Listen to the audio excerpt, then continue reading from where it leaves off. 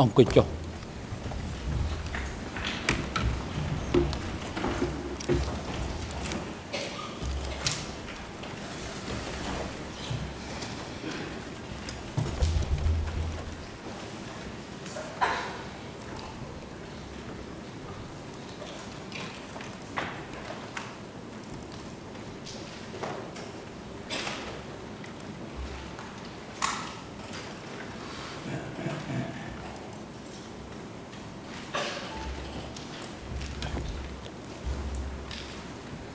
អង្គជំនុំជម្រះប្រ កាសបន្តកិច្ចដំណើរការនីតិវិធីសកម្មការ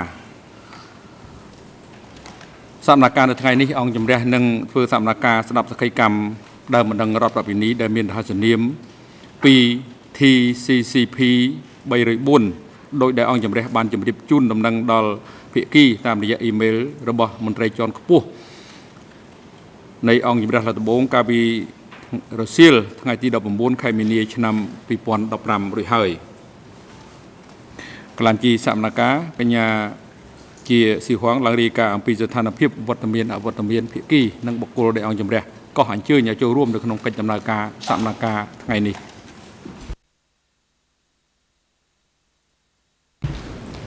សូមគោរពលោកប្រធានសម្រាប់សកម្មភាពនៅថ្ងៃនេះកលាមជីកត់សម្គាល់ឃើញថាគ្រប់ភាគីទាំងអស់នៅរឿងក្តីនេះមានវត្តមានដោយឡែកលោកនួនជា មានវត្តមាននៅបន្ទប់ឃុំខ្លួនខាងក្រោមសាលសកម្មភាពនេះ ដោយលោកស្នើសុំលះបង់សិទ្ធិមានវត្តមានដោយផ្ទាល់ពីបន្ទប់សកម្មភាពលិខិតលះបង់សិទ្ធិរបស់ជនជាប់ចោតនួនជាបានប្រកល់ដល់កលាមជីរួចហើយសាកសីដែលត្រូវមកដល់សក្ខីកម្មនៅថ្ងៃនេះមានរហស្សនាម 2 TCCP 304សូមអរគុណលោកប្រធានបាទអរគុណកញ្ញាជាស៊ីហងជាដំបងនេះអង្គជំរះសម្រាប់លើដំណើរសុំរបស់ជនជាប់ចោតនួនជាជាមុនសិន អង្គជំរះបានទទួលលិខិតសុំលះបង់សិទ្ធចូលរួមសកម្មភាពដោយផ្ទាល់របស់ជនជាប់ចោតនួនជាចុះថ្ងៃទី24ខែមីនាឆ្នាំ2015ដែលបានបញ្ជាក់ថាគាត់មានបញ្ហាសុខភាពឈឺក្បាលឈឺចង្កេះមិនអាចអង្គុយយូរបានមិនអាចផ្ចង់អារម្មណ៍បានយូរនិងដើម្បីមានលទ្ធភាពចូលរួមសកម្មភាពនាថ្ងៃខាងមុខឲ្យមានប្រសិទ្ធភាពខ្លួនសូមលះបង់សិទ្ធចូលរួមនឹងមានវត្តមានដោយផ្ទាល់ក្នុងបន្ទប់សម្ណាការនៅថ្ងៃទី24ខែមីនាឆ្នាំ2015 មេធាវីការពីក្តីរបស់ខ្លួនបានជម្រាបអំពីផលប៉ះពាល់នៃការលះបង់សិទ្ធិនេះថាការលះបង់សិទ្ធិនេះមិនអាចបកស្រាយថាជាការលះបង់សិទ្ធិរបស់ខ្លួនក្នុងការកាត់ទឹកដីដែលយុត្តិធម៌ឬក៏សិទ្ធិក្នុងការជំទាស់ទៅនឹងផុសតាងក្នុងការដាក់បង្ហាញឬដាក់ជូនតុលាការនេះគ្រប់ពេលនៃសកម្មភាពលើរូបខ្លួនឡើយបានឃើញកំណត់ហេតុពិនិត្យសុខភាពជនជាប់ចោតនួនជាដែលធ្វើឡើងដោយគ្រូពេទ្យប្រចាំការពិនិត្យព្យាបាលថែទាំសុខភាពជនជាប់ចោតនៅអវតក ចុះថ្ងៃទី24ខែមីនាឆ្នាំ2015បានកត់សម្គាល់ថាស្ថានភាពសុខភាពរបស់ជនជាប់ចោតនួនជាមិនមានការប្រែប្រួលទេប៉ុន្តែគាត់ឈឺចង្កេះរ៉ាំរ៉ៃវិលមុខពេលអង្គុយយូរនិងបានផ្ដល់អនុសាសន៍ថាសូមឲ្យអង្គជំរះអនុញ្ញាតឲ្យលោកនួនជា នៅតាមដានកិច្ចដំណើរការសកម្មភាពពីបន្ទប់ខាងក្រោមសាលសកម្មភាពនេះដោយផ្អែកលើមូលដ្ឋាននេះនឹងយោងតាមបទបញ្ញត្តិនៃវិធាន 81 5នៃវិធានផ្ទៃក្នុងអវតកអង្គជំរះយល់ព្រមនិងអនុញ្ញាតឲ្យជនជាប់ចោតនួនជា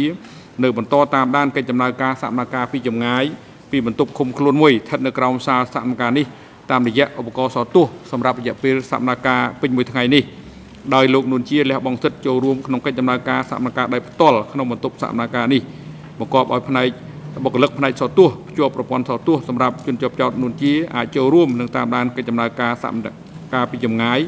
ពីបន្ទប់ឃុំខ្លួនមួយស្ថិតនៅក្រោមសាលសកម្មភាពនេះក្នុងអំឡុងពេលនៃដំណើរការសកម្មភាពសម្រាប់ថ្ងៃនេះ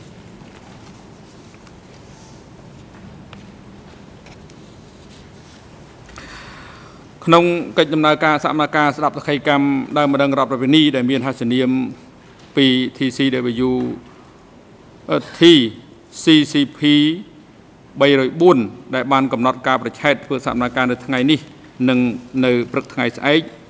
អង្គជំនុំជម្រះនិងអនុវត្តតាមសេចក្តីសម្រេចលើវិធានការការពារសម្រាប់ដើមម្ដងរដ្ឋបវេនីរូបនេះតាមខ្លឹមសារនៃសេចក្តីសម្រេចរបស់អង្គជំនុំជម្រះត្រាដំបងចុះថ្ងៃទី19ខែមីនាឆ្នាំ2015ឯកសារ E 316/2/2ដែលអង្គជំរះបង្គាប់ថារូបភាពនិងសម្លេងរបស់ដើមម្ដងរដ្ឋបវេនីរូបនេះមិនត្រូវផ្សព្វផ្សាយជាសាធារណៈទេត្រៃហេតុនេះអង្គជំរះបង្គាប់ឲ្យបុគ្គលិកគ្រប់គ្រងខាងផ្នែក បច្ចេកទេសសម្លេងនិងរូបភាពនៅក្នុងសារសកម្មការនេះឲ្យបំផ្លែងរូបភាពផ្ទៃមុខនិងសម្លេងរបស់ដើមម្ដងរដ្ឋប្រវិនីរូបនេះក្នុងអំឡុងពេលគាត់ផ្ដល់សកម្មកម្មនៅចំពោះមុខអង្គជំនះនេះហើយព័ត៌មានលម្អិតពីសាវតាផ្ទាល់ខ្លួនដើមម្ដងរដ្ឋប្រវិនីរូបនេះក៏ដូចដូចជាទីកន្លែងកំណើតអាសយដ្ឋានបច្ចុប្បន្នមុខរបរឈ្មោះសមាជិកក្នុងក្រុមគ្រួសារដើមម្ដងរដ្ឋវិនីក៏ត្រូវលាក់ជាការងារសម្ងាត់ ជាការសម្ងាត់ផងដែរដោយមានបញ្ហាខាងបច្ចេកទេសបំលែងសម្លេងដើមម្ដងរដ្ឋអង្គជំនះឡាដបងចាត់បុគ្គលិកអង្គភាពគម្ពីស័ក្តិសិទ្ធិនិងអ្នកជំនាញមួយរូបគឺលោកញ៉ែមសំណាងឲ្យអង្គុយនៅក្បែរដើមម្ដងរដ្ឋប្រវិនីដើម្បីជួយសម្របសម្រួលខាងបច្ចេកទេសបំលែងសម្លេងដល់ដើមម្ដងរដ្ឋប្រវិនីរូបនេះនៅក្នុងឡុងពេលគាត់ផ្ដល់សក្ខីកម្ម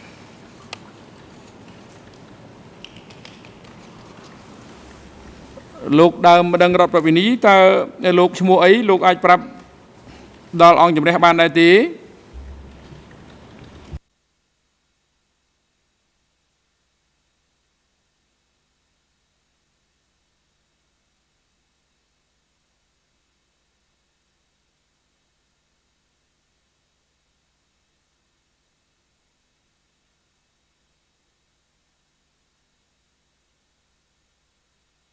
លោកមិនទាន់ឆ្លើយក៏មកមើលអានោះគាត់យើងសួរគាត់គាត់ឆ្លើយនៅសំណួរបញ្ហាសំណួរនោះយើងនឹងប្រាប់ឲ្យលោកធ្វើទៀតបន្តិចទៀតបានដល់ពេលលោកត្រូវរៀបចំធ្វើអញ្ចឹងដើមរឹងរំនេះឆ្លើយនឹងសំណួរដែលយើងសួរតើលោកឈ្មោះអី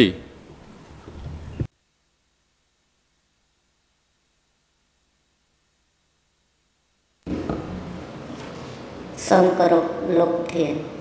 ខ្ញុំបាទឈ្មោះសោតសាន់ លោកដើមម្ដងរំនេះតើលោកកើតនៅថ្ងៃខែឆ្នាំណា លោកអាចចាំឲ្យប្រាប់លក្ខអង្គជំរះបានដែរទេថ្ងៃខែឆ្នាំកំណើតរបស់លោក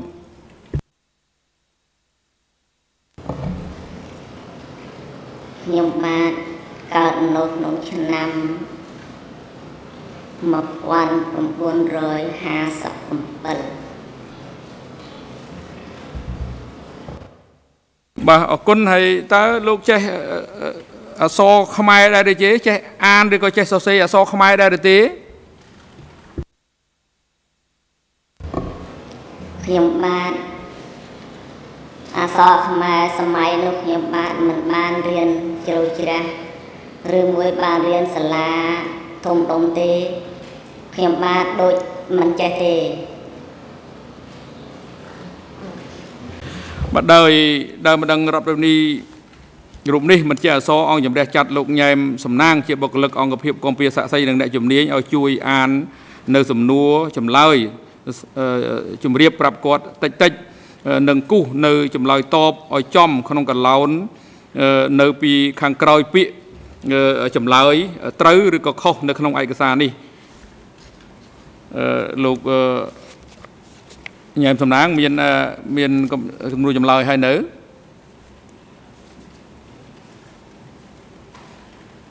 លោកតំណាងចាត់ការ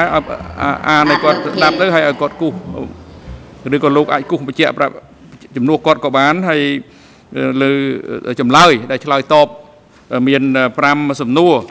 ហើយ ហើយអង្គជំរះក៏សូមជម្រាបជូនភាគីផងដែរថាសំណួរដែលអង្គជំរះសួរហ្នឹងគឺទីកន្លែងកំណើតរបស់លោកតើកើតនៅទីកន្លែងណាសំណួរទី2តើទីលំនៅសប្តាហ៍ថ្ងៃរបស់លោកនៅទីកន្លែងណាហើយសំណួរទី3តើលោកប្រកបមុខរបរធ្វើអ្វីដែរសប្តាហ៍ថ្ងៃនេះទី4តើឪពុករបស់លោកឈ្មោះអីហើយម្ដាយរបស់លោកគាត់ឈ្មោះអីដែរហើយនឹងសំណួរទី5ចុះប្រពន្ធរបស់លោកឈ្មោះអីហើយលោកមានកូនប៉ុន្មាននាក់ នេះជាប្រវត្តិប្រភេទសំណួរដែលពាក់ព័ន្ធនឹងការបញ្ជាក់សាវតារបស់ដើមម្ដងរដ្ឋប្រពៃណី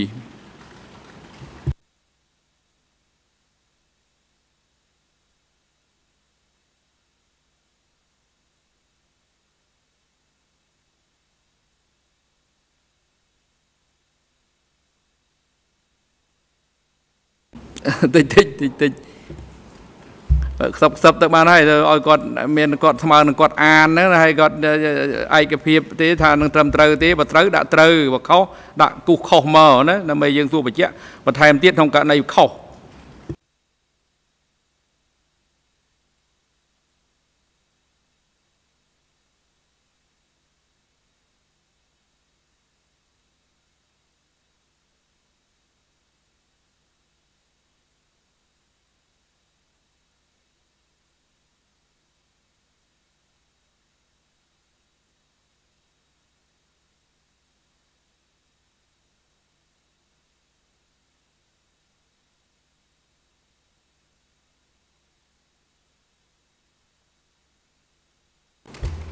អញ្ជើញលោក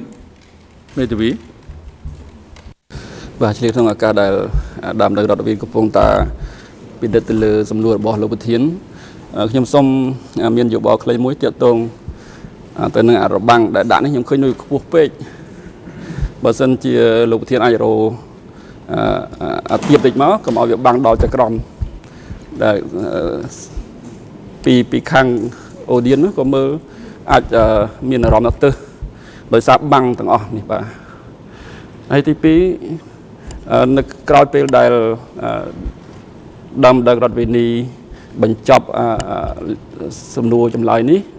សូមលោកប្រធានអនុញ្ញាតឲ្យភាគីបានពិនិត្យផងបាទសូមអរគុណ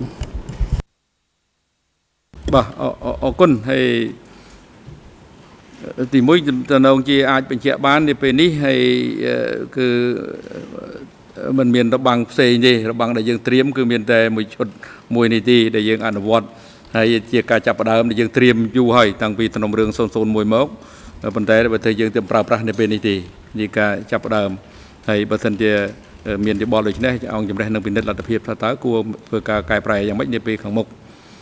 បើទី2ហើយមន្ត្រីរដ្ឋបាលតុលាការទទួលនៅសំណួរចម្លើយពីមន្ត្រីពីបុគ្គលិក កងពាសាក់សីអ្នកជំនាញយកមកឲ្យយើង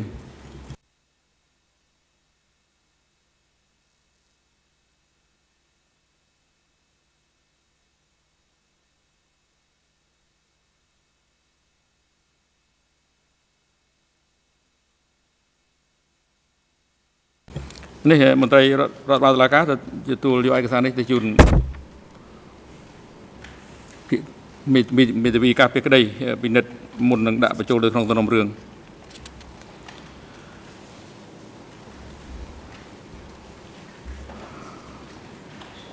លោកដើមម្ដងរដ្ឋប្រវិនីជាចុងក្រោយបង្អស់នៃការផ្ដល់សក្ខីកម្មរបស់លោកក្នុងនាមជាលោកជាដើមម្ដងរដ្ឋប្រវិនីលោកមានសិទ្ធិថ្លែងរៀបរាប់អំពីស្ថានភាពទុកសោកវេទនានិងស្ថានភាពភយសនកម្មដែលកើតមានចំពោះលោកនៅក្នុងរបបកម្ពុជាប្រជាធិបតេយ្យ ប្រសិនបើ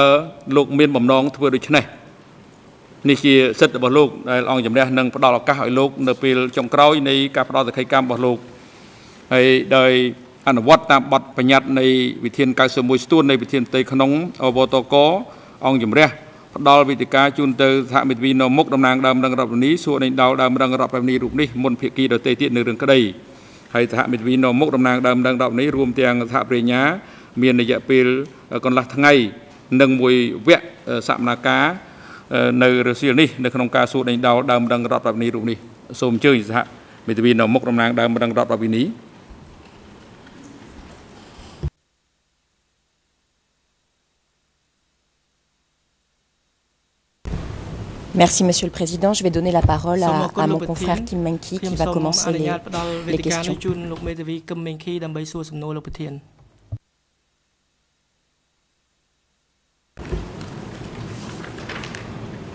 បាទ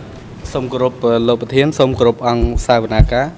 ខ្ញុំបាទកឹមមេងខីជាមេធាវីតំណាងឲ្យដើមបណ្ដឹង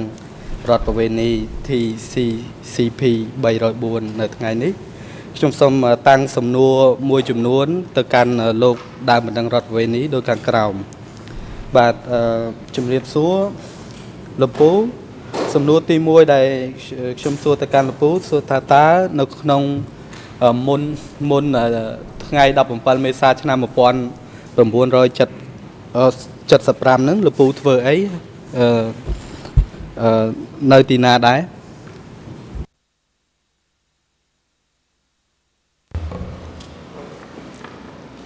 ខ្ញុំបានក្នុង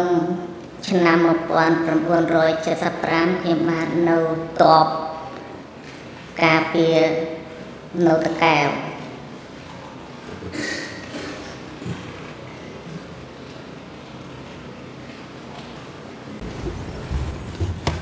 លពូអាចបញ្ជាក់អំពីអង្គភាពតបនឹងបានទេហើយលពូចូលនឹងដោយការស្ម័គ្រចិត្តឬក៏ដោយលក្ខខណ្ឌអីផ្សេង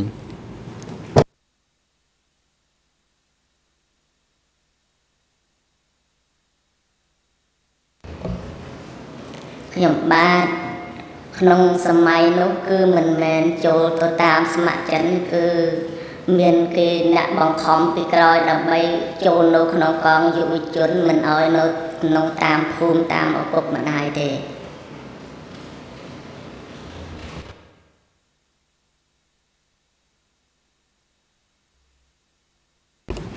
បាទសូមអរគុណនៅលពូអាចរៀបរាប់បានទេ អំពីការងារដែលនៅក្នុងអំឡុងពេលដែលលពូជាកងយុវជនហ្នឹងតើតើគេឲ្យធ្វើអីខ្លះ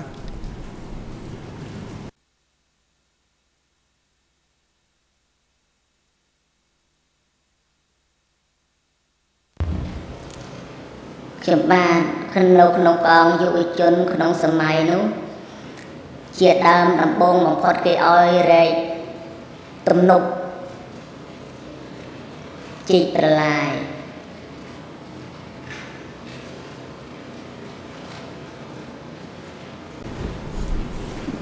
បាទអរគុណចុះបន្ទាប់មកទៀតលោកពូអាចរៀបរាប់ជាទូទៅបានទេថាតើលោកពូធ្វើអី នៅទីណាទៅតាមការបរិច្ឆេទដែលលោកពូអាចចាំបាន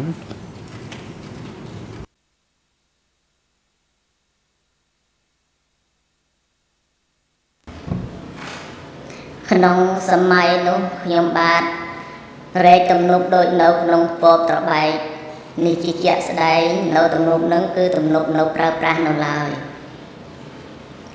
បន្លាយនៅក្នុងបន្លាយ បន្លាយគេហៅបន្លាយសូនប្រហែលខ្ញុំបានចាំទេ នៅក្នុងបន្លាយពីពពត្របែកមកទៅពាំងគល់នេះ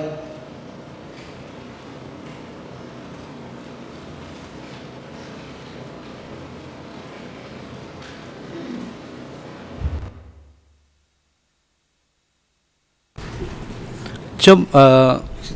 អត់ទៅលពូសូមលពូជួយបញ្ជាក់រឿងហេតុនឹងជាបន្តបន្ទាប់មកថាថាតើទៅ ក្របចាប់ពីការងារនឹងទៅលពូទៅធ្វើអីនៅនៅឆ្នាំប្រហែលជាឆ្នាំប៉ុន្មាន ទីកន្លែងណាទួនាទីអីលពូអាចរៀបរាប់អង្គហេតុនឹងដើម្បីខ្ញុំសួរបញ្ជាក់បន្ថែមពីរឿងនឹងលពូអាចរៀបរាប់បានទេ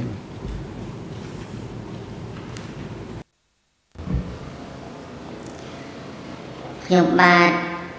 កាលពីសម័យនោះក្នុងឆ្នាំចិត្ត ខ្ញុំសូមទាញខាងដើមមកឆ្នាំខាងដើមខាងឆ្នាំ71គឺខ្ញុំមិនទាន់បានចេញពីក្រុមគ្រួសារឪពុកម្ដាយនៅឡើយទេក្នុងឆ្នាំ71 72ឪពុកខ្ញុំបាទគេយកទៅដាក់ទោសនៅមន្ទីរ204រហូតដល់ឆ្នាំ72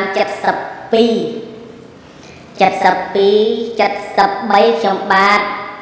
បានចូលក្នុងកងទ័ព73ក្រោយ73រហូតមកដល់ឆ្នាំ75 76ខ្ញុំនៅក្នុងជួរកងទ័ពរហូតមកលុះដល់ក្នុងឆ្នាំ1975នៅក្នុងជួរកងទ័ពដដែលតែគេឲ្យខ្ញុំទៅការពារនៅភ្នំដំរីរមៀលទៅការពារនៅក្នុងភ្នំដំរីរមៀលនេះ មូលហេតុគេឲ្យទៅចាប់តាព្រំសានប៉ិនមិនដឹងតាព្រំសាននឹងឈ្មោះមុខយ៉ាងម៉េចខ្ញុំក៏មិនស្គាល់គាត់ដែរគេឲ្យទៅការពារនៅចាំចាប់តាព្រំសាននឹងគេចោទតាព្រំសាននឹងតាព្រំសានក្បត់ខ្ញុំក៏ធ្វើតាមបញ្ជាបានទៅនោះរហូតដល់ឆ្នាំ77 77ខ្ញុំបាន បានគេ ở ក្នុងឆ្នាំ70ក្នុងឆ្នាំ75ហ្នឹង75ហ្នឹងគេលួចអាវុធខ្ញុំក្នុងកងទ័ពឲ្យការពារព្រំសានហ្នឹងគេលួចអាវុធបានគេចោទខ្ញុំយកទៅថាអាវុធយកទៅឲ្យព្រំសាននៅកន្លែងណាឬមួយគេថាយកអត់ព្រំសានហ្នឹងនៅក្រោមដើមកន្លែងនៅពាំងត្រសុកខ្ញុំអាវុធនោះគឺគេអ្នកដើរ រងល្បាតហ្នឹងគេអ្នកយកកាលនោះខ្ញុំមានជំងឺគ្រុនចាញ់ជាទម្ងន់ក្រោយមកក៏បានគេយកមកខ្ញុំអប់រំនៅក្នុងកន្លែងចំការដងយុវជនគេហៅកន្លែងយុវជនអប់រំខ្ញុំរយៈពេលមួយថ្ងៃរសៀលហ្នឹងខ្ញុំបាទក៏បានគេណែនាំធ្វើម៉េចយើងក្បត់ពីបាក់ក្បត់ពីកតប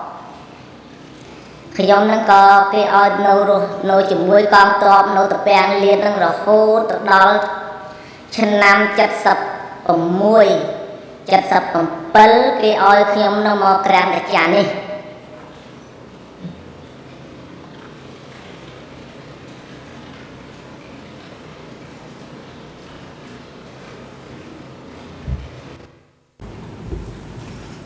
បាទសូមអរគុណលោកពូ ខ្ញុំវិលទៅចំណុចមួយដែលលោកពូបានបញ្ជាក់អំពីឈ្មោះព្រំសាន់តើគាត់ព្រំសាន់នឹងលោកពូស្គាល់ទេគាត់ជានរណាគឺតើចាប់គាត់ពីរឿងអីហើយចាប់បានដែរឬទេនៅពេលនោះ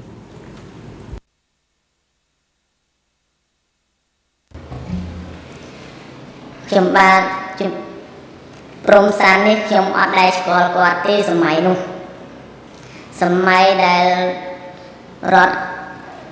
ប្រាប់សម័យបដិវត្តហ្នឹងខ្ញុំអត់ដែលស្គាល់គាត់ពីព្រោះមិនដែលស្គាល់ពីព្រោះគាត់នៅត្រាំកក់ឲ្យខ្ញុំនៅឃុំលេបូនេះខ្ញុំមិនដែលស្គាល់គាត់ទេទើបតែបានសម័យរំដោះ79ហើយនេះគាត់ធ្វើប្រធានឃុំនៅត្រាំកក់ហ្នឹងបានស្គាល់គាត់ប៉ុន្តែក្នុងបច្ចុប្បន្នក្រោយមកហ្នឹងគាត់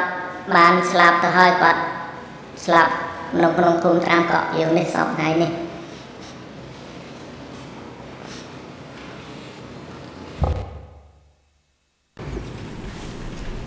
បាទសូមអរគុណលោកពូបន្តមកទៀតលោកពូបានរៀបរាប់ពីអង្គហេតុមួយដែលលោកពូទៅចាប់ហើយបានធ្វើឲ្យបាត់កភ្លើង គេយកទៅអប់រំតើ ហើយបន្តមកទៀតបានលោកពូទៅក្រាំងតាចាន់តើរឿងហ្នឹងយ៉ាងម៉េចបានគេបញ្ជូនទៅក្រាំងតាចាន់គេអប់រំយ៉ាងម៉េចលោកពូអាចពន្យល់កន្លែងហ្នឹងបានទេ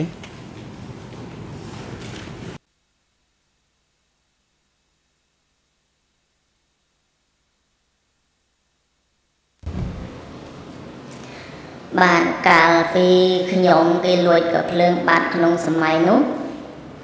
ដោយសារខ្ញុំមាន គ្រុនចាញ់នៅក្នុងត្រង់សេមួយហ្នឹងវាមាន3នាក់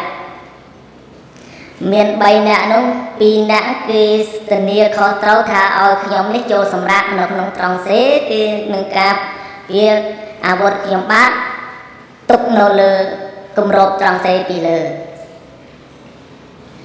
ដល់ក្រោយមកបានគេយកបាត់ទៅបានគេយកទៅខ្ញុំទៅអប់រំនៅកន្លែងយុវជនចំការដងហ្នឹង គេយកទៅរយៈពេលមួយមួយសៀលហ្នឹងដល់ហើយបានគេឲ្យខ្ញុំនៅកន្លែងអប់រំនៅកន្លែងតបហ្នឹងរហូតមកបានក្រោយមកហ្នឹងមិនដឹងគេយ៉ាងម៉េចឲ្យខ្ញុំមកនៅក្រាំងតាចាននេះខ្ញុំក៏មិនដឹងមូលហេតុដែរក្រោយមកបានគេឲ្យខ្ញុំការពារនៅក្រាំងតាចានហ្នឹងតែម្ដង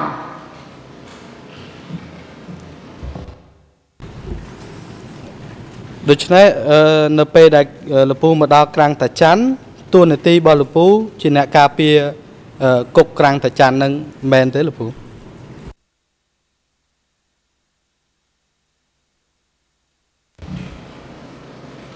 បាទមកដល់ក្រាំងតាចានេះមិនតាន់បានជាឲ្យចូលមកភ្លាមទេមុននឹងគេឲ្យចូលមកក្រាំងតាចានគេយកខ្ញុំបាទនឹងយកទៅដាក់កងយុវជននៅគេហៅវត្តចាក់ជ្រុំ នៅវត្តចាក់ជ្រុំនឹងបានប្រមាណខែខ្ញុំមិនចាំទេ ក្រោយមកបានមកដល់ខែយើងស្ទូងគេហៅសម័យហ្នឹងគេហៅស្ទូងស្រូវកមួនសសម័យស្ទូងស្រូវកមួនសហ្នឹងបានគេឲ្យខ្ញុំមកស្ទូងបានចូលរួមស្ទូងសម័យកមួនសហ្នឹងខ្ញុំចូលស្ទូងជាមួយគេនៅក្នុងក្រាំងប្រចាំនេះ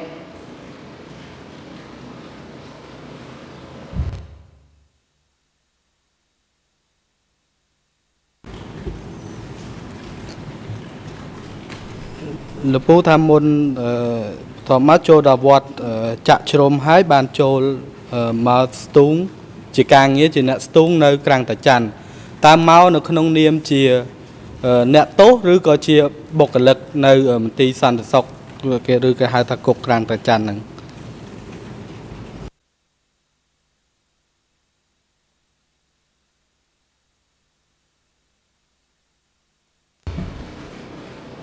ខ្ញុំបាទមកដល់ដំបងមុនដំបងបំផុតគេបញ្ជូនមកហ្នឹងគេមិនមែនឲ្យមកតែខ្លួនទៅទេទេគេឲ្យមកពីក្នុងនៅវត្តចាក់ជ្រុំហ្នឹងគេឲ្យខ្ញុំបាទមកហ្នឹងគឺមានយុវជនគេម្នាក់ដឹកនាំឲ្យខ្ញុំមកចូលនៅក្នុងកន្លែងក្រាំងតាចាន់នេះមកដល់ហ្នឹងក៏គេបកគលឲ្យ ក្រាំងតាចាន់រួចហើយចប់សពគ្រប់ខ្ញុំហ្នឹងក៏ខាងយោធាវិជាការយោធានោះក៏គេប្រាប់ថាយើងមកដល់អាមួយគេហៅស្នាក់ការភូមិអីទេស្នាក់ការនៅភូមិចានទៀបអីកាលហ្នឹងដូចចានទៀបហ្នឹង មកដល់ស្នាក់ការហ្នឹងបានវិជាការគេឲ្យខ្ញុំថាឥឡូវយើងមានផែនការផ្លាស់ចេញពីវត្តចាក់ជ្រុំទៅនៅក្រាមតាចាន់ដើម្បីទៅនៅក្រាមតាចាន់ហ្នឹងគេប្រាប់ថាលុតដំខ្លួនកសាងខ្លួនឲ្យត្រឹមត្រូវឲ្យស្មោះត្រង់នឹងបាក់ធ្វើម៉េចយើងបកគលខ្លួនជូនបាក់ឲ្យស្មោះត្រង់នឹងបាក់ដើម្បីការពារបដិវត្តឲ្យខ្ពស់រុងរឿង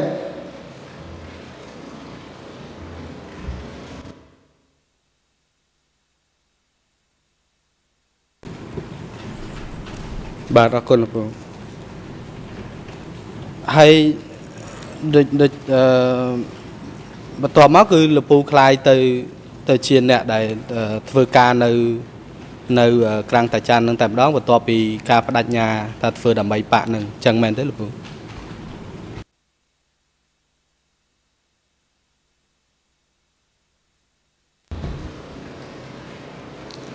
បាទ ក្នុងនោះដល់បន្ទាប់ពីគេបំពាក់បំពន់ពីអប់រំខ្ញុំរួចហើយខ្ញុំក៏ធ្វើតាមក្នុងបណ្ដាំរបស់បករបស់គេតែម្ដងរហូត70 78ខ្ញុំបានបញ្ជូនទៅតបវៃវៀតណាមវិញ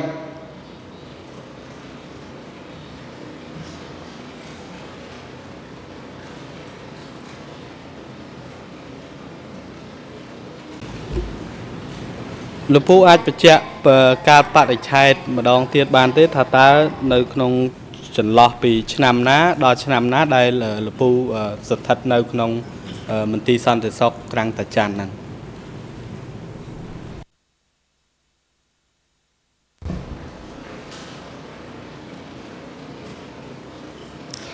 ក្នុងមន្ទីរក្រាំងតាចាន់ហ្នឹងខ្ញុំបាន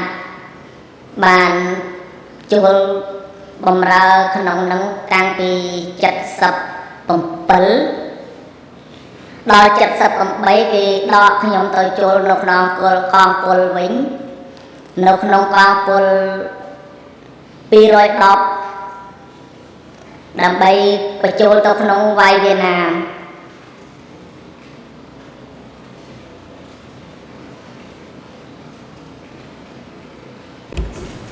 អរគុណលោកពូ តើលពូអាចរៀបរាប់បានទេ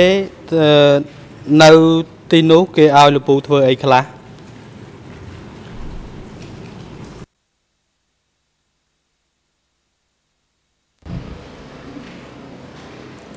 ខ្ញុំបាទនៅក្នុងក្រាំតាចានេះដំបងបំផុតគេឲ្យខ្ញុំបាទនឹងបំពាក់បំពន់ខាងផ្នែកមន្ទីរមន្ទីរគេបំពាក់ប្រធានមន្ទីរគេបំពាក់បំពន់ខ្ញុំបាទ ដើម្បីឲ្យខ្ញុំយាមធ្វើម៉េចការពារសវត្ថភាពសន្តិសុខក្នុងក្រាំងតច័ន្ទទាំងម៉េចអត់បាន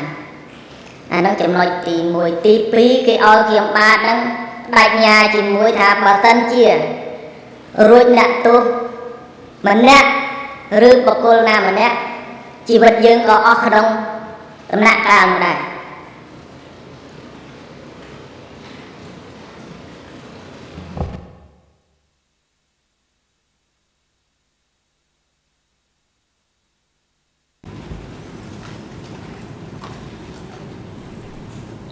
ការងារដូច្នេះលពូទទួលខុសត្រូវការងារពីរទី1គឺបំពាក់បំពន់ហើយនឹងការការងារការពារអឺអ្នកទោសមិនឲ្យលួចរត់អញ្ចឹងមែនទេលោកពូ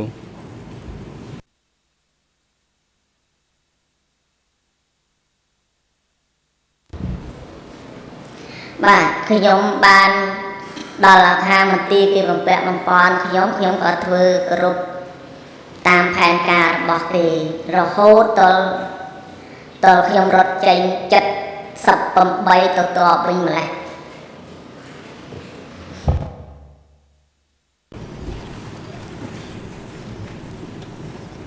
តមកទៀតលោកពូអាចបញ្ជាក់បានទេ នៅក្នុង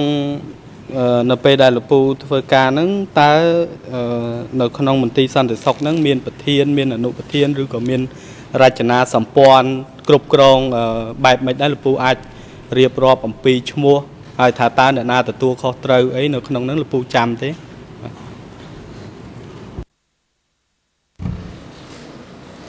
ខ្ញុំបាទចាំខ្លះពីព្រោះពេលវេលាកាលហ្នឹងវាចូល30ឆ្នាំហើយមិនអាចចាំអស់ទេលោកគ្រូពីព្រោះក្នុងហ្នឹងប្រធានធំធំខ្ញុំចាំបាន ដូចជាតាអានមួយតាពេញ តាជេងអាហ្នឹងជាប្រធាននៅក្នុងក្រាមតាចាន់នេះចំណែកខាងមន្ទីរពួកមន្ទីរផ្សេងទៀតអាហ្នឹងចាំមិនអស់ទេទេចាំតែតមឿនមួយអាឈៀងមួយហើយពីណាទៀតទេអាហ្នឹងខាងមន្ទីរខ្ញុំចាំមិនអត់ទេគ្រូ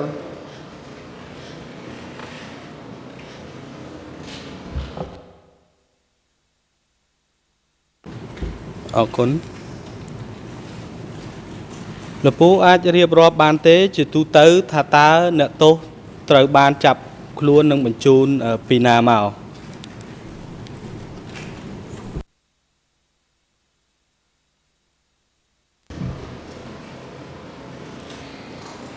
បើតាមខ្ញុំឃើញ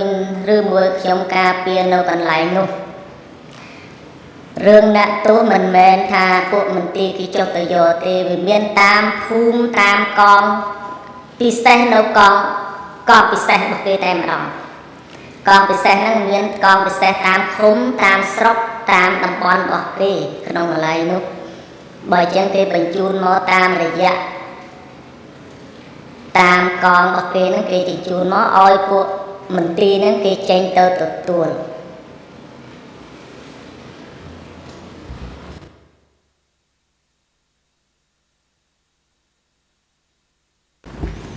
បាទអរគុណដោយសារលពូធ្វើការជាអ្នកយាមកាមនៅទីនោះ ពេលដែលអ្នកទោសចូលតើមានការកត់ត្រាឬក៏មានការថតរូបឬក៏ធ្វើកំណត់ហេតុអីពាក់ព័ន្ធទៅនឹងការចូលរបស់អ្នកទោសនោះដែរទេ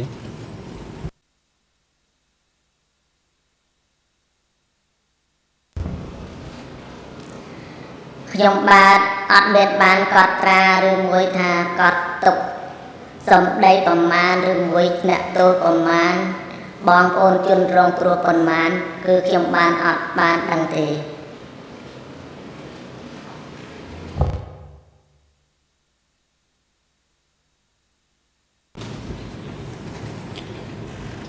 តើពេលដែលអ្នកទោសចូលទៅដល់មន្ទីរសន្តិសុខនោះ តើថាគេយកទៅឃុំខ្លួនឬក៏គេយកទៅអឺដាក់ទុកដាក់យ៉ាងម៉េចដែរចំពោះអ្នកទោសនៅនៅពេលដែលចូលទៅដល់ទីនោះលោកពូបាទអ្នកទោសទៅដល់ក្នុងមន្ទីរក្រាំងតាចាននោះគឺគេយកទៅដាក់នៅក្នុងផ្ទះល្វែងហើយគេដាក់ខ្នោះជើងទុកក្នុងនោះតែម្ដង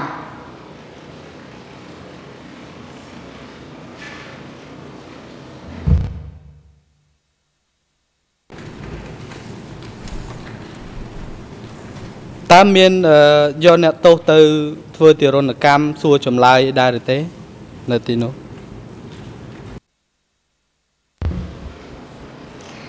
បាទក្នុងទីនោះគឺមានលោកគ្រូមានអ្នកទៅសួរចម្លើយហ្នឹងគឺខាងមន្ទីរគេគេអ្នកសួរបាទ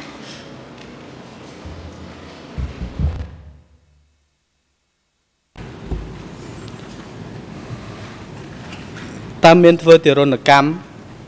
ឬក៏សម្លាប់អ្នកទោសនៅទីនោះដែរទេលោកគ្រូ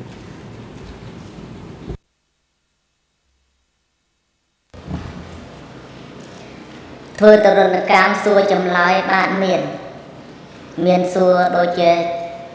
វៃសួរចម្លើយ ឬមួយចងកណាត់ផ្លាស្ទិកមុខបាទ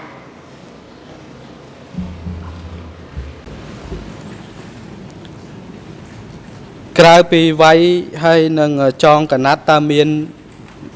មធ្យោបាយធ្វើទរណកម្មផ្សេងទៀតដែរទេដែលដែលលពូអាចដឹងបាននៅពេលនោះ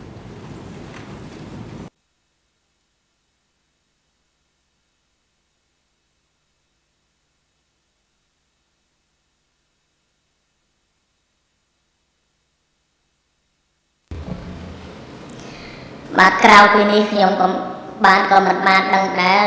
ធ្វើទរណកម្មក្រៅពីនេះបន្តទៀតខ្ញុំក៏មិនបានខ្ញុំដឹងតែប៉ុណ្ណេះទេបាទ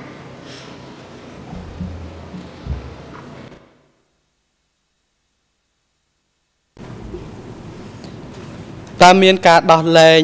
អ្នកទោសឲ្យនៅចេញទៅក្រៅវិញដែរទេឲ្យមានសេរីភាពដែរទេនៅពេលនោះលោកគ្រូ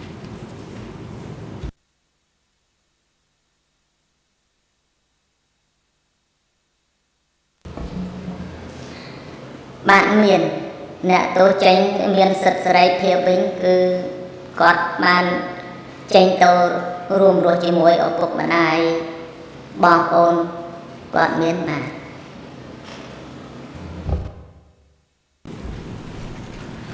នៅពេលដែលលពូនៅទីនោះលពូចាំបានទេថាតើអឺចូលជាទូទៅប្រមាណអ្នកក្នុងមួយថ្ងៃហើយអ្នកដែលមានឱកាស ចេញវិញបានប្រមាណអ្នកនៅក្នុងអំឡុងពេលនោះ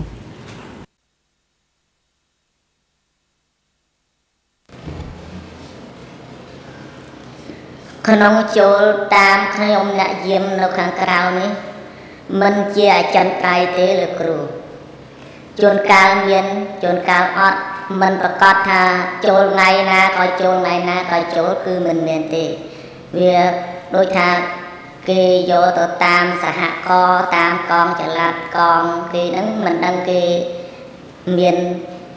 ភាកច្រើនបើមុខសញ្ញារបស់ខ្ញុំពីខាងកើតគឺចូលបាន2ឬ3មិនជាអចិន្ត្រៃយ៍ទេបាទ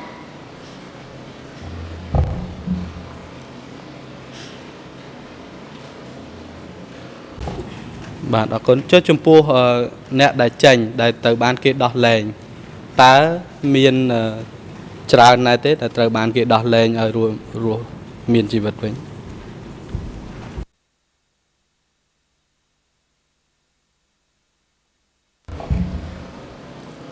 បាទគឺបងប្អូនដែលរស់រៀនមានជីវិតវិញមិនច្រើនទេបាទ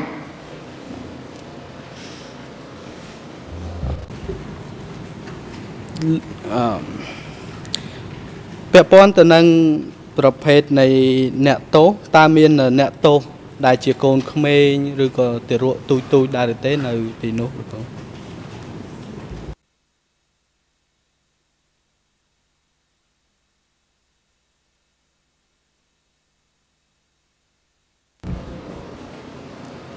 បាទបាទបាទតាមខ្ញុំសង្កេតឃើញនៅគ្នាទីនោះគឺកូនក្មេងតូចមានទៅតាមឪពុកម្ដាយបាទ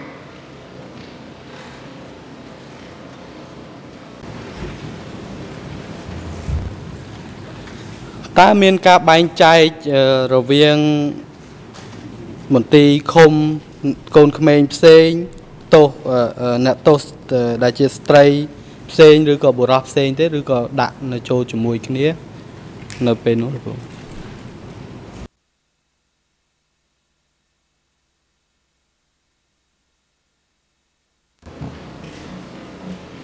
បាទនៅក្នុងពេលនោះគឺក្មេងនៅជាមួយឪពុកម្ដាយមិនថាបរោះស្ថាស្ត្រីទេ គឺរស់នៅជាមួយបាទ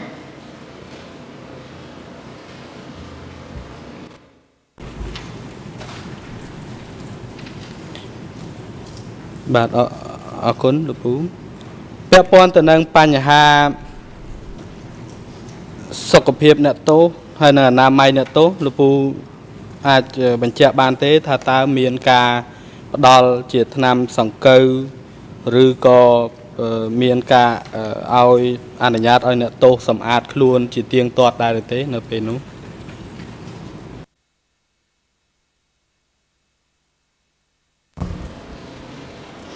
បាទបើតាមខ្ញុំនៅខាងក្រៅនេះគឺมันបានអ្នកទោសបងប្អូនដែលជាប់រត់ក្នុងនោះគឺมันមានបានថ្នាំសង្កូវឬមួយដុសលាងខ្លួន សម្អាតអនាម័យខ្លួនបានត្រឹមត្រូវទេបាទ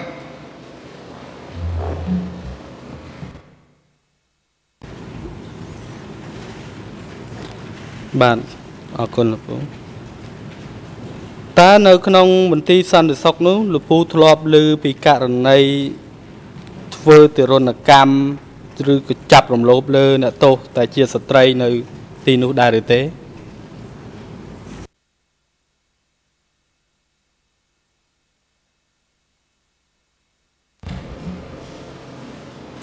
បាទក្នុងបើតាមខ្ញុំសង្កេតក្នុងបុគ្គលិកក្នុងពួកមន្ទីរទាំងកងទ័ពក្នុងទីនោះគឺគ្មានមានការរំលោភនារីនៅក្នុងនោះឬមួយធ្វើបាបនារីផ្លូវភេទគឺគ្មានទេបើចំណុចមានពីគេហៅថាពីខាងក្រៅដូចជារំលោភសាសន្តិវៈពីខាងក្រៅទៅគេដឹកនាំមានវិបត្តិចូលទៅក្នុងហ្នឹងអាហ្នឹងគឺមានបាទ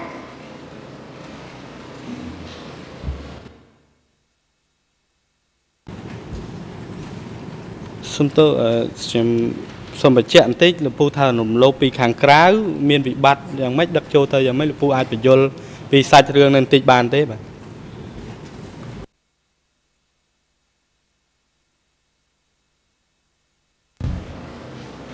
បាទលោកគ្រូខ្ញុំចង់បញ្ជាក់ចំណុចទាំងហ្នឹងឧទាហរណ៍ថា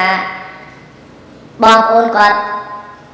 ខូចសិលធម៌ពីកងផ្សេងផ្សេងនៅខាងក្រៅដូចជាកងយុវជនកងយុវនារីខូចសិលធម៌ពីខាងក្រៅមកគេយកមកអប់រំក្នុងកន្លែងនោះអាហ្នឹងគឺមានហើយបាទ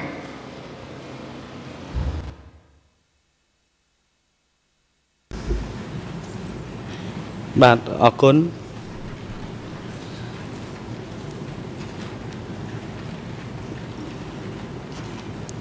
ពាក់ព័ន្ធទៅនឹងបញ្ហាចំណីអាហារសម្រាប់អ្នកអ្នកទោសថាតើអ្នកទោសទទួលបានអាហារយ៉ាងម៉េចដែរអ្នកដែលសម្រាប់អ្នកដែលទៅបានគេឃុំខ្លួននៅទីនោះ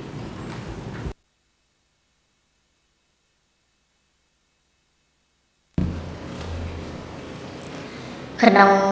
ជីវភាពនៅក្នុងទីនោះ គឺបងប្អូនអ្នកទោសមិនបានអាហារគ្រប់គ្រាន់ទេបាទមានបបរមានមានបបរលាយដំឡូងក៏មានបបរទឹករាវក៏មានអានឹងជាការពិតណាស់បាទ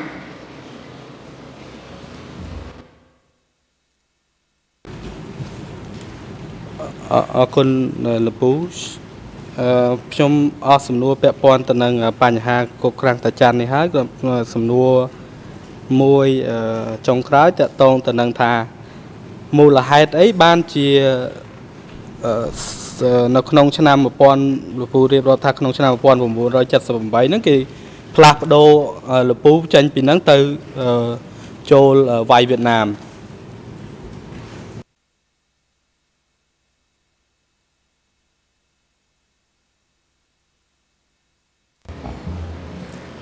បាទក្នុងនោះ កាលពីក្នុងឆ្នាំ78គឺគេប្រមូលតបទាំងអស់ទាំងបានបានតបនៅកន្លែងណាក៏គេបញ្ចូលទៅក្នុងកងពលរៀបកងពលវាយវៀតណាមវិញដែរបាទ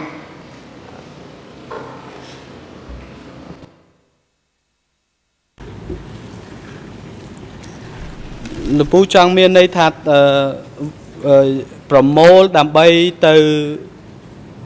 វាយប្រទេសវៀតណាម ឬក៏ប្រមូលដើម្បី ទប់ទល់ទៅនឹងការវាយរបស់វៀតណាមចូលនៅក្នុងទឹកដីកម្ពុជាលពូអាចបញ្ជាក់កន្លែងហ្នឹងបានទេ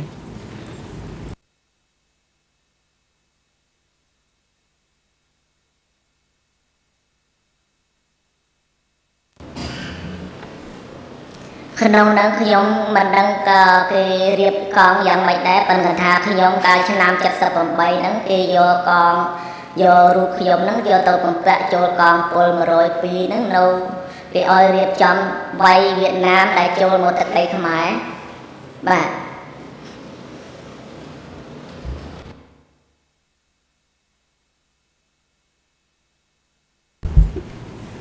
បាទសូមអរគុណលោកពូខ្ញុំមានសំណួរតែប៉ុណ្្នឹងទេហើយសូមអរគុណអង្គជំនុំជម្រះសាលាដំបងដែលអនុញ្ញាតឲ្យខ្ញុំបានសួរដើមម្ដង នៅថ្ងៃនេះសូមអរគុណ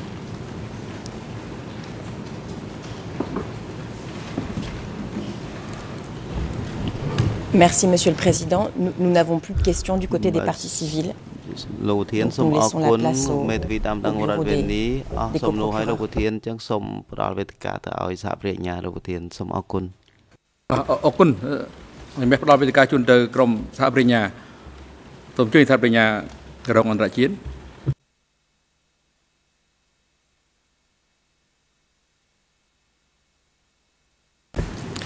Thank you, Mr. President, Your Honors. Uh, good morning, Mr. Civil Party. ចៅក្រមជម្រាបសួរលោកដើមម្ដង I want to um, follow up first with um, something uh, you just uh, testified to. Um, you said that um, You didn't see mistreatment of female prisoners, but that some had been already raped before they were brought to the security center. រំលោភរួចទៅហើយមុនយកមកមន្ទីរសន្ who then explained that some people had committed moral offenses and were therefore brought to the security center for re-education. I'd like you to clarify, uh, did you mean by this that there were women who had been raped who were brought to Krang Dachan as prisoners for committing moral offenses? ដោយសារតែអ្នកទាំងនោះគឺថាបានប្រព្រឹត្តខុសសិលធម៌សូមលោកបញ្ជាក់បន្តិច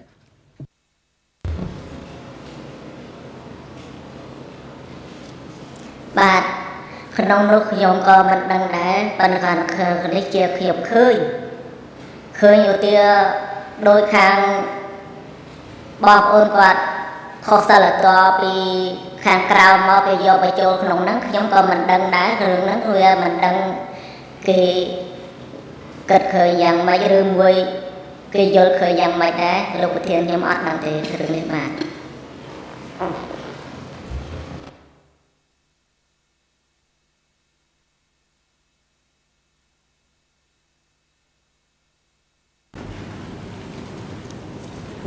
You said that there were female prisoners who had been raped before arriving at the security center. How did you know that? ហើយមុននឹងគេនាំខ្លួនមកមន្ទីរសន្តិសុខតើលោកដឹងរឿងនេះដោយរបៀបណាដែរបាទលោកប្រធានក្នុងនោះគ្រាន់តែឧទាហរណ៍ថាក្នុងចំណោមនៅក្នុងក្រាំងតាចាននោះដោយអ្នកខូចសិលធម៌ពីខាងក្រៅគេមិន ឲ្យចេញមកធ្វើការរែកជីរែកដីឬមួយរែកដីដំបូកធ្វើជីធម្មជាតិដាក់តាមស្រែតាមនេះធ្វើការជាមួយខ្ញុំបាទហ្នឹងខ្ញុំបាទចេះតែមានការសាកសួរឬមួយខ្ញុំសួរលេងសើចពីនេះពីនោះធម្មតាបានជាខ្ញុំបាទដឹងរឿងនេះបាទ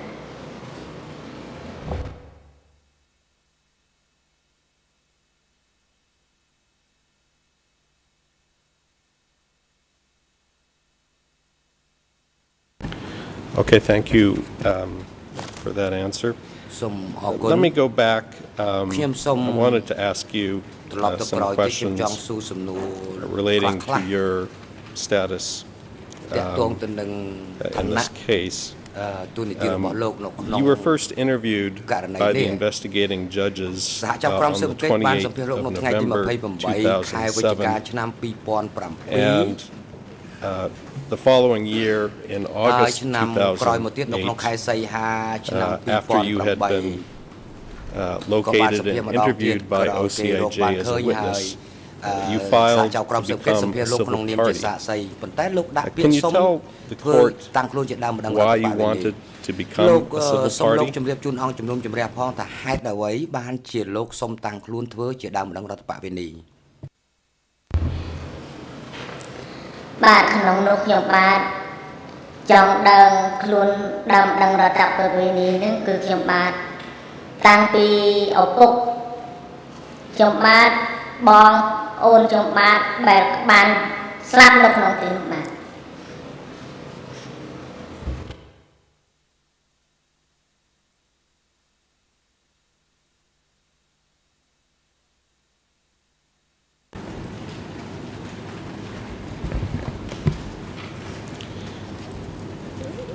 I want to ask you about uh, some testimony uh, that another civil party, Sai Sen, has given in this court ដែលបានឆ្លើយជូនតុលាការនៅថ្ងៃទី5ខែកុម្ភៈឆ្នាំ2015 This is at E1 គឺអឺ3 slash 257.1អឺ1លើ at uh, around 11 2155 to 11 24 20 and the civil party Saisen testified here about some communications you had with him uh, regarding what he would say to this court. And I quote, Question. Is Sang afraid of what you may tell the investigators and the tribunal regarding the role he played at Frank ដែលគាត់បានធ្វើនៅអេក្រង់តាច័ន្ទតើគាត់មាន បានទទួលយោបល់ពីណាទេតើតើនឹងបញ្ហានេះឆ្លើយគាត់ធ្លាប់និយាយជាមួយខ្ញុំហើយបានប្រាប់ខ្ញុំថាបើសិនណាជាតឡាកាស៊ូសួរគាត់អំពីរឿងខ្ញុំសូមអឺនិយាយអំពីអ្នកទោសនៅកន្លែងនោះ he addresses me as ហើយនៅនោះគាត់ហៅខ្ញុំថាបងហើយគាត់ស្នើសុំថា ឲ្យខ្ញុំនិយាយថាគាត់គឺជាអ្នកទោសនៅទីនោះតែប៉ុណ្ណោះហើយគាត់ប្រាប់ខ្ញុំម្ដងជាពីរដងគាត់បានស្នើខ្ញុំឲ្យនិយាយបែបនេះម្ដងជាពីរដងបញ្ចប់ការដកស្រង់ My question to you សំណួររបស់ខ្ញុំ Is it fair to say that you were worried គឺថាតើត្រូវទេដែលថាលោកមានការព្រួយបារម្ភចំក្នុងការមកឆ្លើយជូនតុលាការអំពីអ្វីដែលបានកើតឡើងនៅក្រាំងតាចាន់នោះ Merci, Monsieur le Président. Sous votre contrôle et à la demande de, de l'avocat de la partie civile, il me semblait que nous n'avions pas le droit de mentionner son nom et qu'il était préférable d'utiliser un pseudonyme.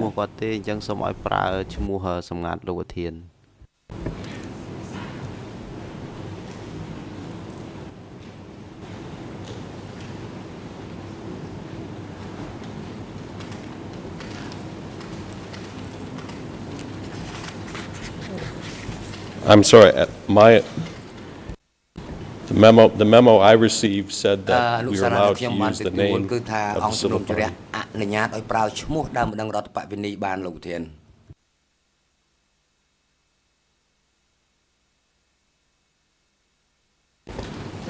Mr. Civil Party, do you remember my question? My question is, um, did you have concerns or worries about having to testify at this tribunal about what took place at Krang Tachan. ពីអ្វីដែលកើតឡើងនៅឯក្រាំងតចាន់នោះទេបាទលោកប្រធានខ្ញុំបាទបើនិយាយជាមួយលោកសយសែនខ្ញុំបាទមិនដឹងគាត់ចូលពីឆ្នាំណាខែណាថ្ងៃណាខ្ញុំក៏អត់បានដឹងដែរតែមើលបាទក្នុងនោះសយសែនក៏មិនដែលបាននិយាយជាមួយខ្ញុំហើយក៏មិនដែលបាន មករស់រស់ជាមួយខ្ញុំបិទតែរស់នៅជាមួយភូមិតែមួយ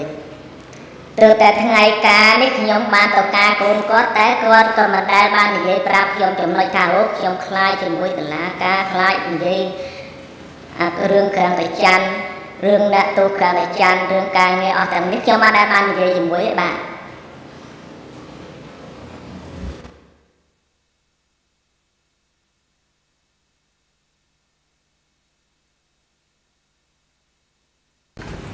Uh, my question to you, uh, Mr. Civil Party, is whether you personally had concerns or worries about having to come here and testify about Krang Tachan. ខ្លួនមកឆ្លើយជូនអង្គជំនុំជម្រះនិយាយអំពីអ្វីដែលកើតឡើងនៅក្រាំងតាចាន់ដែរទេបាទក្នុងនោះខ្ញុំបាទគឺខ្ញុំតាំងខ្លួនខ្ញុំជាដើមបណ្ដឹងមកពីនោះខ្ញុំអត់ខ្លាចទេឃើញយ៉ាងម៉េចខ្ញុំជម្រាបជូនជាក់ដែង ចំពោះអង្គជំនុំជម្រះបាទ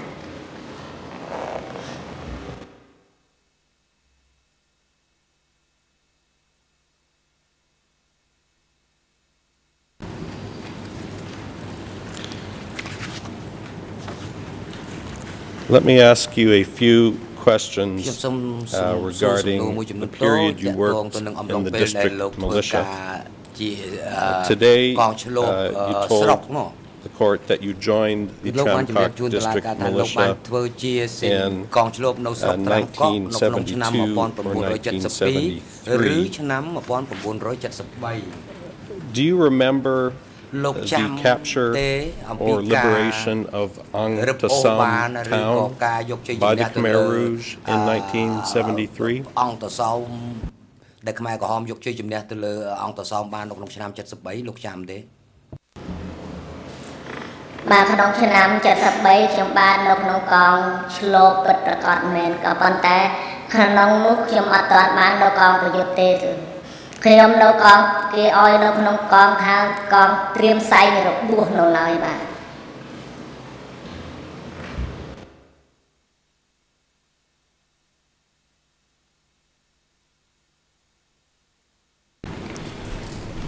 Uh, I understand that you weren't engaged in fighting. But do you remember when Angtasam, Angtasam town was captured by the Khmer Rouge uh, and what was done with the residents of that town uh, when it was liberated? នៅពេលដែលរំដោះនឹងតើលោកចាំទេចិត្តនៅពេលណាដែរ បាទក្នុងបែកទីក្រុងអង្គរសោមឆ្នាំខ្ញុំដឹងថាបែកតែមិនដឹងឆ្នាំណាទេបាទ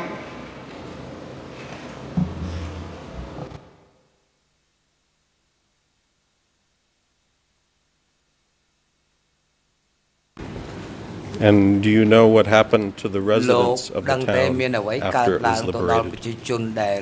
រស់នៅឯក្រុងអង្គរសោមនឹងដែរក្រោយពីរំដោះបាននឹង ទីក្រុងអង្គរសមរំដោះបានក្រោយមកខ្ញុំបាននៅតែខាងត្រៀមខាងមុខទេអត់ដែលបានមកក្រោយទេបាទ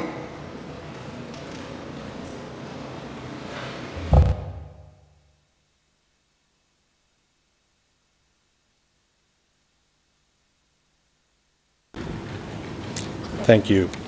Let me turn um, to a few questions about the arrest and detention of your father at Office 204, um, which you told us today um, took place in 1971 or 1972.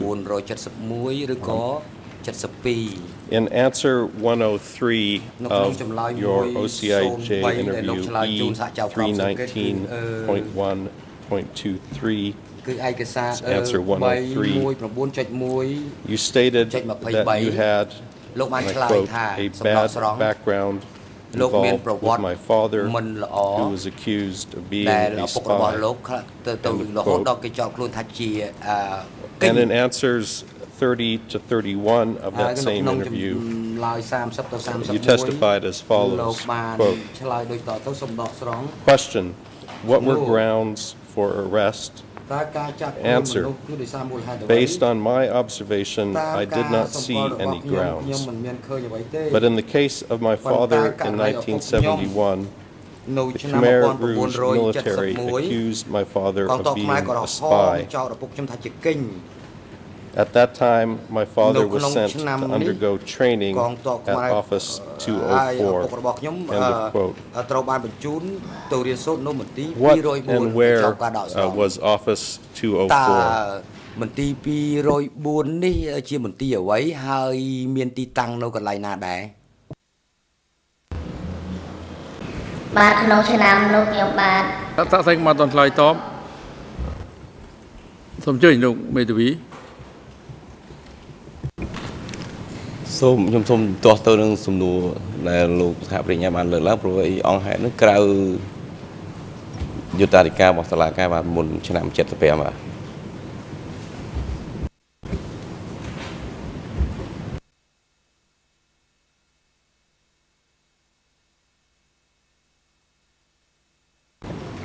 Your, Your Honors, there have been testimony about these offices and their establishment in the period prior to that in order to establish policy uh, of the uh, Khmer Rouge. That's the reason for the question here. នេះហើយនឹងចង់ដឹងអំពីគោលនយោបាយរបស់ខ្មែរក្រហមដែលជាប់តាក់ទងនឹងយុត្តាធិការសូមអរគុណបាទអង្គជំរះបដិសេធនៅក្តីជំទាស់នេះអឺ ពិតមែនតែមានក្រៅវិសាលភាពប៉ុន្តែមានភាពពាក់ព័ន្ធនេះជាដិតអង្គជំរះត្រូវការស្ដាប់ឆ្លើយចម្លើយតបរបស់សាក់សីតបនឹងសំណួរដែលសួរចសំណួរចុងក្រោយរបស់អឺសាប្រញ្ញាអន្តរងអន្តរជាតិបាញ់មិញនេះសាក់សៃឆ្លើយតបនឹងសំណួរដែលសួរបាញ់មិញនេះ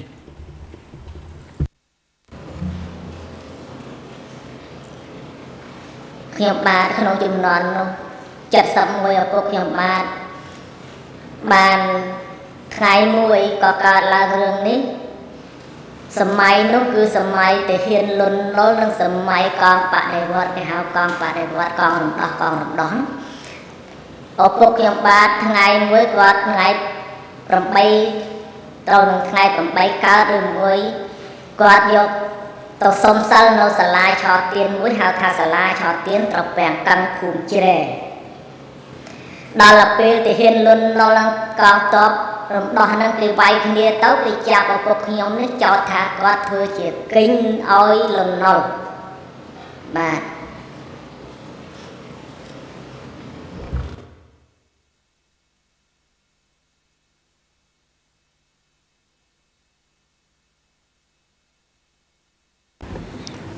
Can you tell us what was your father's occupation at the time he was arrested? របស់លោកនៅពេលដែលគេចាប់ខ្លួននឹងគាត់មានតួនាទីអ្វីដែរ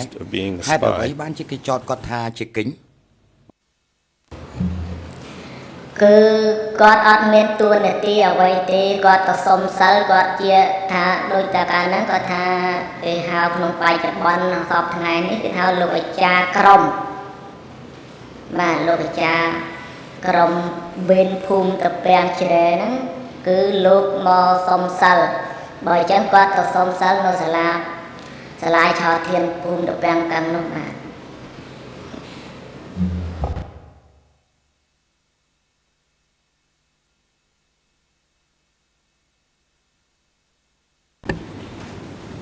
Just so I'm clear, you're saying your father was an archer at the time he was arrested? តើឪពុកលោកធ្វើជាអាចារ្យឬនៅពេលដែលគេចាប់ខ្លួនគាត់ហ្នឹងគាត់គឺមិនមែនធ្វើជាលោកអាចារ្យធំលោកអាចារ្យវត្តលោកអាចារ្យអីទេថាអាចារ្យក្រុមភូមិនៅក្នុងភូមិទេបាទ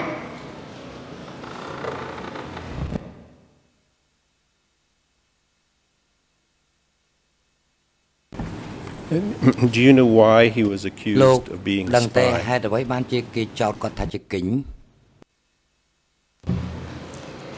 បាទគេចោតគាត់ជាកេងកងរំដោះគេចោតគាត់ជាកេងកាលនោះមានលោកពីគេហៅពីវត្តខ្សិនមកឲ្យសិលនៅសាលាពាំងកឹងហ្នឹងកាលកងរំដោះហ្នឹងគេចាប់លោកបានបាទចាប់លោកបានហ្នឹងគឺលោកហ្នឹងគឺមានគេហៅមានអាសមែលបាទសមែលឆ្លោះ ហើយគេចោតតាអាចារ្យអាចារ្យទាំងប្រមាណអ្នកហ្នឹងគឺចាប់យកដាក់ទៅ204ទៅបាទ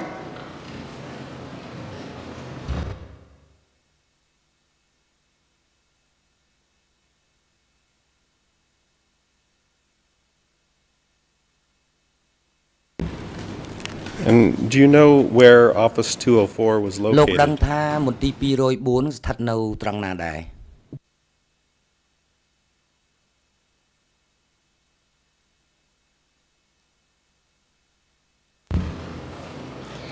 បាទមន្ទីរ204នោះខ្ញុំបានឮតែឈ្មោះទេមិនដែលបានទៅដល់កន្លែងមន្ទីរ204ទេបាទ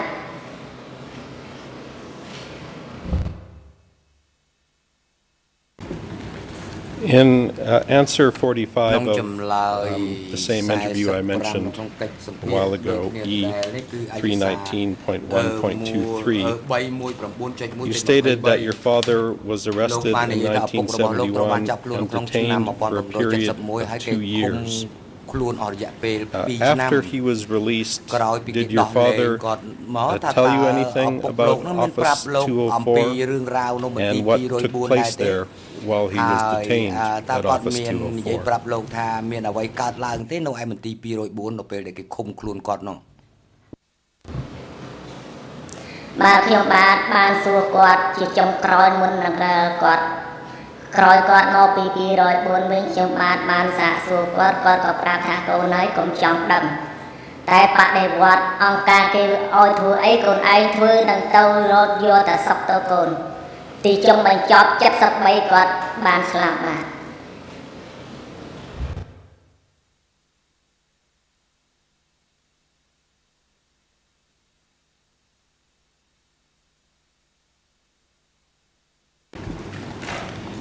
in his uh, trial testimony uh, on the 21st of January 2015 in this court. Uh, the reference is E1 249.1 uh, at 11:07:28 through 1109 Uh, witness Mias Soka uh, provided the following testimony. Quote, Office 204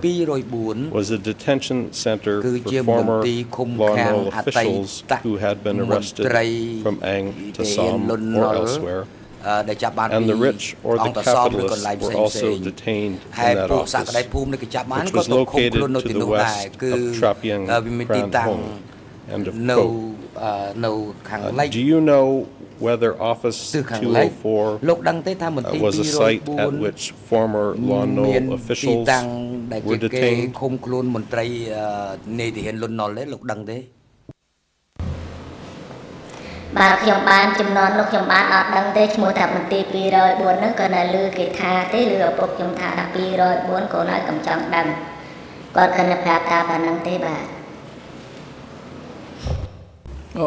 អរគុណប្រញ្ញារងបាទឥឡូវនេះដល់ពេលសម្រាប់ហើយអត់ប្រកាសសម្រាប់20នាទីចាប់ពីពេលនេះទៅទៅរហូតដល់ម៉ោង10 30នាទីសូមអញ្ជើញចូលវិញដើម្បីបន្តកិច្ចដំណើរការសកម្មភាព មន្ត្រីរដ្ឋបាលការរួមរួបដល់កន្លែងសម្រាប់នៅបន្ទប់រងចាំសម្រាប់សាក់សីដល់ដើមរងរដ្ឋរដ្ឋនីរូបនេះនៅក្នុងឡុងពេលឈប់សម្រាប់នឹងឲ្យអញ្ជើញគាត់រួមទាំងបុគ្គលិកនៃអង្គភាពគាំពៀសាក់សីនិងអ្នកជំនាញដែលអមគាត់នឹងមកកាន់កន្លែងផ្ដោតសកម្មនៅវេលាម៉ោង10:30នាទីដោយពេលចាក់ចែងនេះខ្ញុំបិទវាំងណូនជាមុនសិនហើយដូចគ្នានៅពេលដែលនាំគាត់ទៅចូលមកកាន់កន្លែងប្រតិកម្មសូមធ្វើនៅក្នុងឡុងពេលដែលវាំងណូននៅបិទ សម្រាប់ចុះសូមអញ្ជើញក្រោកឈរ